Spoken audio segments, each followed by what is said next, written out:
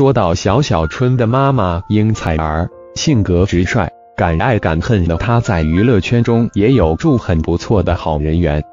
不久前，作为英采儿好闺蜜的郑希怡，便在微博晒出英采儿带住小小春和闺蜜团聚会的照片。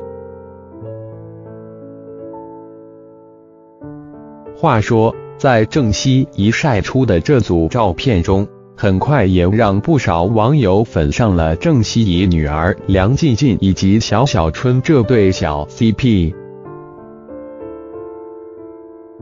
而在近日，郑希怡便又晒出小小春身住自家品牌卫衣的照片，并配文表示小小春为这个品牌的最佳代言人。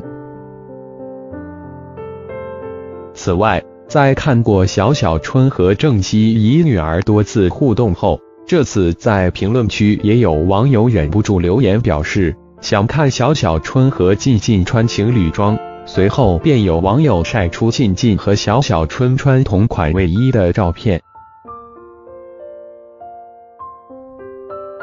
不得不说，这已经不是网友第一次留言起哄了。之前在郑希怡晒出小小春与静静的合照时，有网友便留言表示，Jasper 和静静应该定个娃娃亲。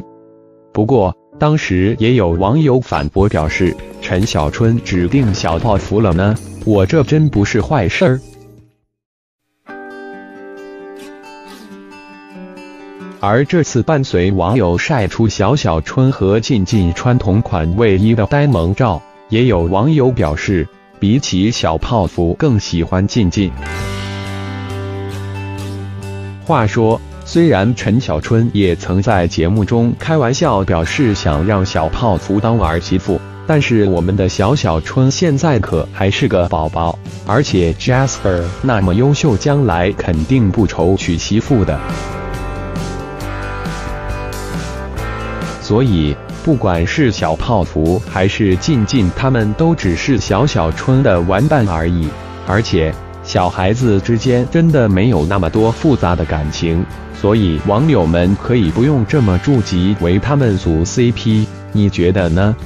你喜欢静静？